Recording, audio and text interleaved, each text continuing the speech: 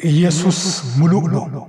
የምንባብ ክፍል ኢሳይያስ 9፥6 ሮሜ 9፥5 አምላክ ሰው በመሆን ሊያድነን ወደደ፣ በፈጠረው ፍጥረት ከምድር ተወገደ።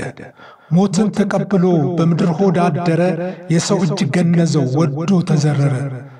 ተቀብሮ አልቀረም ከሙታን ተነሳ፣ መቃብር ፈንቅሏል የይሁዳ አንበሳ።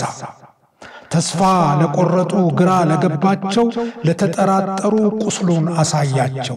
የሄዱትም መጥተው የፈሩት ባሉበት በሮች ተዘጋግተው ተገለጠ ድንገት።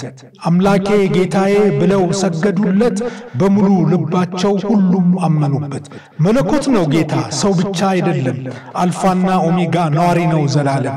ነቢይ ነው እርሱ የሕዝብ አስተማሪ የራሱን ሕዝብ ያውቃል አይደል ተቀጣሪ ባለፈው ታሪክ ውስጥ እርሱ ነበር የአዳም ፈጣሪ ዘላለም የኖረ።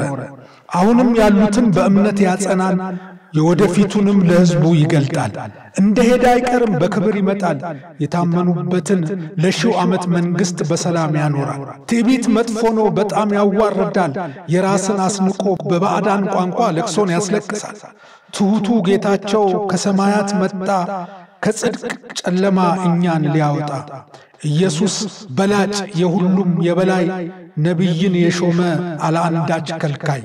ነቢይ ነው እርሱ ሁሉንም አዋቂ መካከለኛ ሰው ከእግዜር አስታራቂ። ካህን ነው ኢየሱስ ዛሬም ይማልዳል የራሱን ደም ይዞ በአብ ፊት ይቆማል። የእግዚአብሔር በግ ሆኖ ስለኛ ታረደ የኮርማ ደም ቀረ የእሱ ተወደደ።